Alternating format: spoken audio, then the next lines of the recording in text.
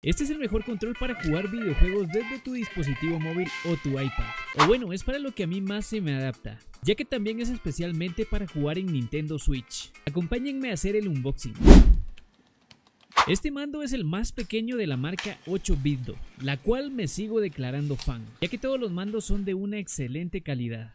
Al abrirlo lo primero que encontrarán será una pulserita para colocarlo en la muñeca de su mano. Luego podemos ver directamente el mando. Miren qué bonito, perdonen el audio, solo que capté sonido ambiente. Aquí pueden ver el tamaño del mando, literalmente parece un llavero. Luego el material, la textura y todo se siente muy bien, de una muy buena calidad, como siempre. También trae su mini cable tipo C a USB para cargar el mando. Y así es como se ve. Le voy a colocar la pulserita para que tomen una idea de cómo se ve.